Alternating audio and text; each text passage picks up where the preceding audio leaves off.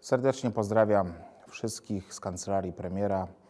Cieszę się, że mogę choćby w tej formie wziąć udział w 16 już edycji festiwalu Losy Polaków.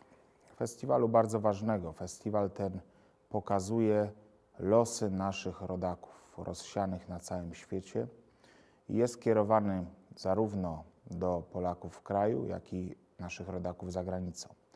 To bardzo istotne, żeby ta łączność, żeby ten pomost był y, budowany, dlatego że pamiętajmy, że nas w kraju jest 38 milionów, a aż 20 milionów naszych rodaków mieszka poza granicami Polski. To jest jedna trzecia naszej wspólnoty narodowej i trzeba za wszelką cenę budować więź, budować więź między Polską, Polakami tu mieszkającymi, a Polakami za granicą.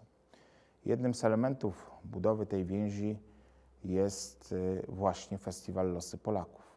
Pamiętajmy, że polskość to jest coś, co łączy grupę, y, wspólnotę narodową Polaków, a więc wspólna kultura, wspólna tradycja, wspólna historia, oczywiście wspólny język, w wielu przypadkach w naszym narodzie także wspólna wiara.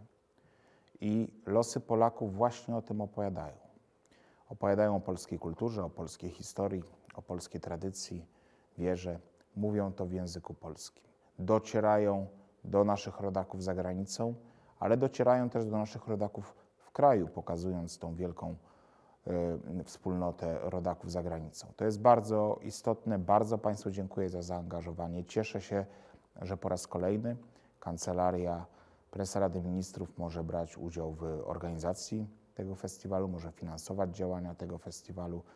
Y, mam nadzieję, że tegoroczny festiwal, oferta tego festiwalu y, będzie dla Państwa bardzo interesująca i przyniesie wiele owocnych przeżyć.